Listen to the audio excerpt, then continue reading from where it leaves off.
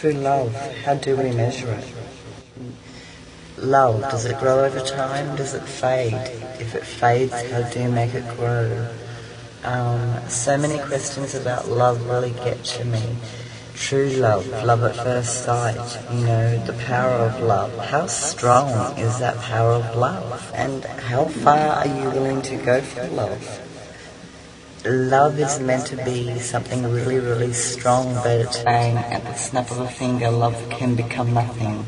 Love can turn to hate, and to me, hate can be more powerful than love because it's derived from love. So, I don't know, help me out.